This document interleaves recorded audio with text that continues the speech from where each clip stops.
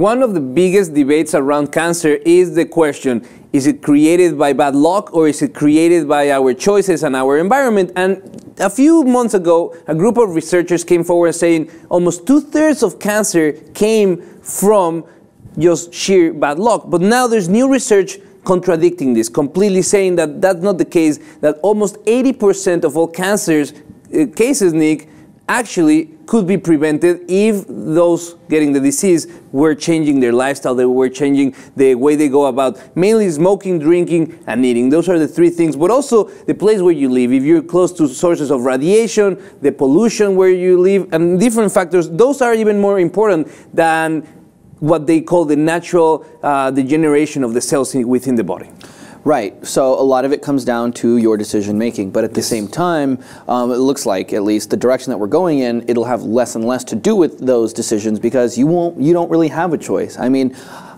It seems like in 2015, and if you're in a big city, you're going to be uh, breathing in pollution. You can't you can't avoid that. You'll be surrounded by radiation. You can be surrounded by radiation. Um, look at the, the, the meat that uh, this country thinks is okay to give to its people, filled with all sorts of antibiotics and other terrible things. These processed foods we seem to, uh, you know, be having less and less of a choice here, uh, in my opinion. I mean, yeah, smoking, drinking, you don't have to do those the, things. The evidence. Right. And, you know, lately we, we've reported on how red meat and processed meat now, they're one of the top, uh, they're at the top level of cancer-inducing substances or practices.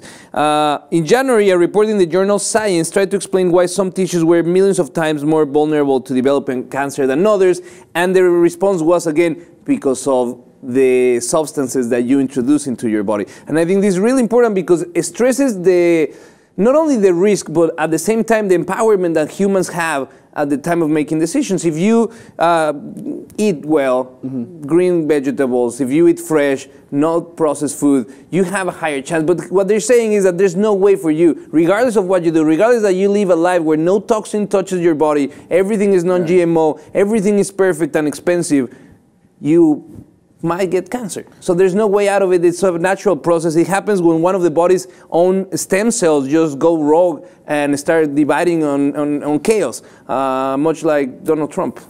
You know, what, what angers me the most uh, about all of this stuff is, you know, there's still this debate uh, in the U.S. The FDA thinks, you know, it's not really important for us to know, um, you know, what's on that label and be able to read what's in our food. Like that's still a debate. Like we might, you know, put all sorts of crap in there, but for some reason we don't really have to put it on that label. Well, we know why. It's for business reasons. They don't want to lose money, but but at the same time, it's just sad that you know we don't even have that option, and we're not even told. We don't even uh, have the opportunity to know what's in our food unless we really like sit down and like Google the company and like look into all these things. It should be on the label everywhere across the country, it in the world at that if that's for that matter. Yeah, yeah, I agree with you. These scientists they use a metaphor. They use the metaphor of the Russian roulette. If you decide to go through life taking the risk, it's the same risk of having one bullet in the six chambers.